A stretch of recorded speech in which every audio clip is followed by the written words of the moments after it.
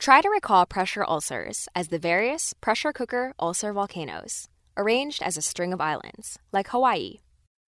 Ulcers which are stage 1 show non blanchable redness when pressure is placed on the wound. The stage with one wand and none bleach. Those that are stage 2 are partial thickness skin loss, or blistering. The stage with 2 tutu and partial thickness skin loss. While stage 3 shows full thickness skin loss, where subcutaneous fat is visible. The stage with 3 tree showing full thickness skin loss. Stage 4 pressure ulcers, on the other hand, show full thickness tissue loss, leading to visible muscle or bone.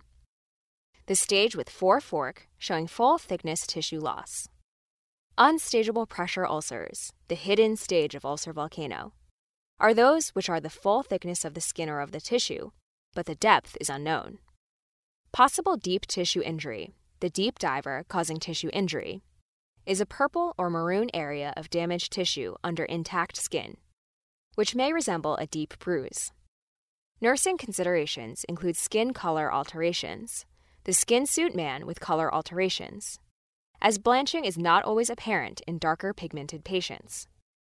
It is important to remove necrotic tissue before staging, removing the necrosis crow with tissues, as this can cover the true depth of the wound.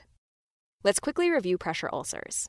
Stage 1 is considered non blanchable redness, while stage 2 is a partial thickness of the skin wound.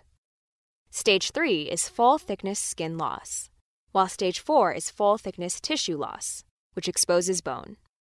Unstageable wounds occur when the depth cannot be determined, and possible deep tissue injury should be considered when the skin looks like a deep bruise. Other considerations include skin color alterations and removing necrotic tissue before staging a pressure ulcer. Everything we learned today and more is available inside of the Picmonic learning system. So what are you waiting for? Go to Picmonic.com today and try it for free and find out why over 100,000 students are learning smarter learning faster, and remembering it longer with fun pictures using Picmonic.